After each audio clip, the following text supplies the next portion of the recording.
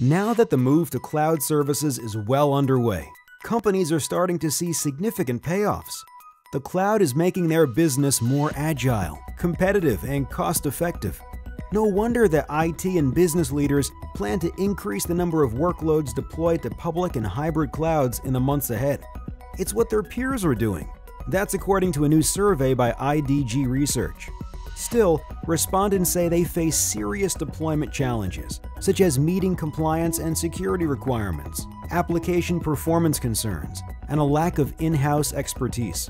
What additional services do they want to see their cloud providers offer? Monitoring, migration, compliance management, planning and strategy, and education and training head the list.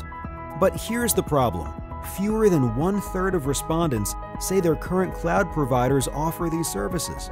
The good news 81% of respondents said that the availability of comprehensive services, certifications, and expertise from a single cloud provider would increase their likelihood of remaining loyal to that provider.